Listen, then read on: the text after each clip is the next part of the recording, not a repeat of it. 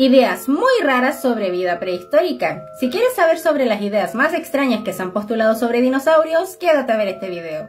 El estegosaurio volador.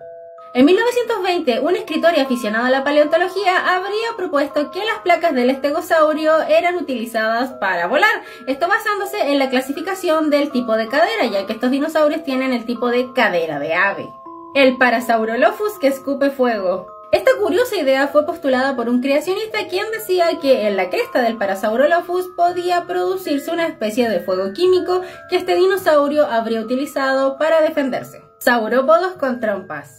Esta idea surge de la presencia de fosas nasales en la parte dorsal del cráneo, lo cual hacía imaginarnos un poco a los elefantes.